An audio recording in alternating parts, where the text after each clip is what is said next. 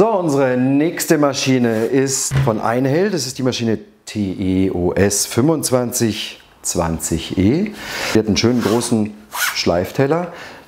Einmal die Möglichkeit, äh, Klett Schleifpapier aufzubringen und zum anderen aber auch zum Klemmen.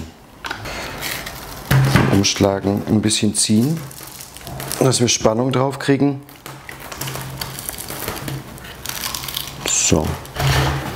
Das ist einfacher gestaltet, aber erfüllt seinen Zweck wunderbar. Die Maschine hat auch natürlich hier eine Drehzahlverstellung.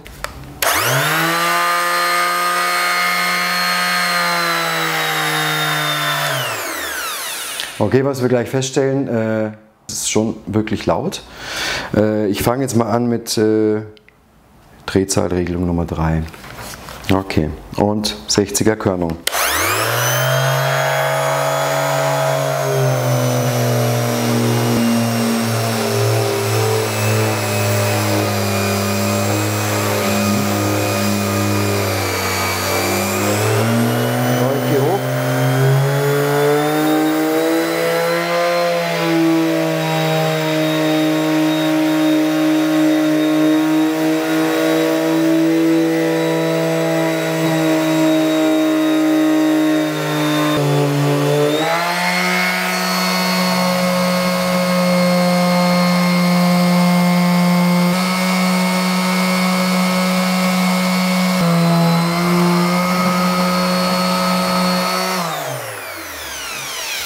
Die ist wirklich laut. Ähm, sie nimmt aber auch deutlich mehr Material ab.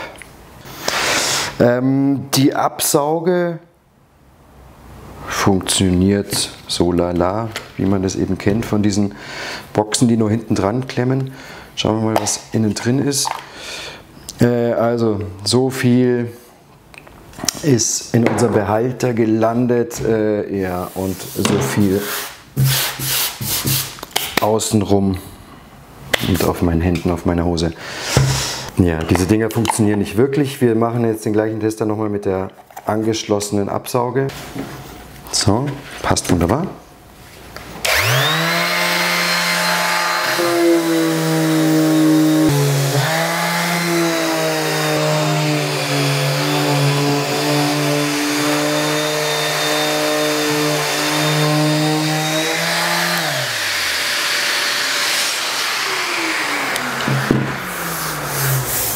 Also, die nimmt schon was weg. Äh, sie ist wahnsinnig laut, aber es passiert auch wirklich was. Äh, jetzt testen wir das Ganze mit den 180er Körnung und diesmal benutzen wir auch das Glättpapier.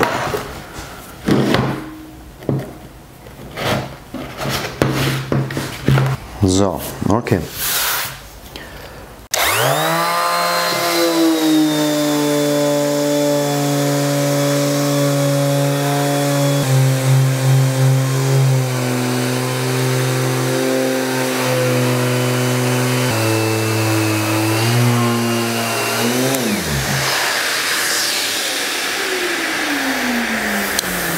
Ja, die nimmt ordentlich was weg auf jeden Fall. Das ist wirklich, das sieht jetzt natürlich äh, sehr krumm aus. Das liegt jetzt aber nicht an der Maschine, sondern es liegt am Untergrund, also an der alten Tür, die einfach keine plane Fläche mehr ausbildet.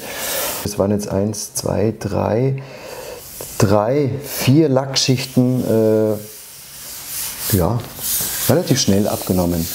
Äh, was wir jetzt heute hier nicht haben, wir können jetzt hier nicht so einfach in Pfalze reingehen. Ne? Das, ist, äh, das würde wiederum funktionieren, wenn wir ein Schleifpapier hier einklemmen.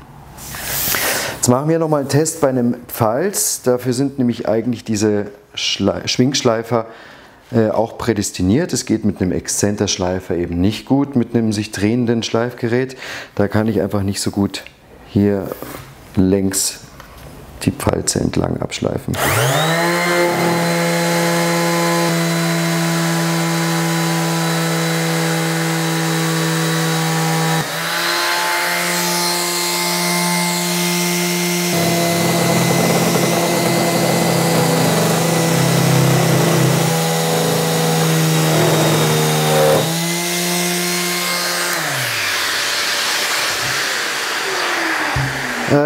Was ein bisschen störend ist bei der Maschine, sind hier diese Klemmen. Dadurch kann ich nicht wirklich bündig mit meinem Schleifteller in, in einem Falz arbeiten, weil diese Klammer steht ein bisschen über, über den Schleifteller hinaus. Das heißt, wenn ich jetzt hier arbeite, dann gibt es da einmal. Deswegen hat die auch so vibriert. Aber auch hier trotzdem, dieser untere Teil, äh, da ging wirklich deutlich mehr weg als bei der Makita davor.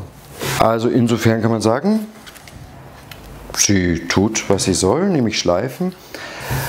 Und durch den großen Teller hat man auch nicht so die Gefahr, dass man leicht verkippelt oder irgendwelche Dellen reinschleift in seine Oberfläche.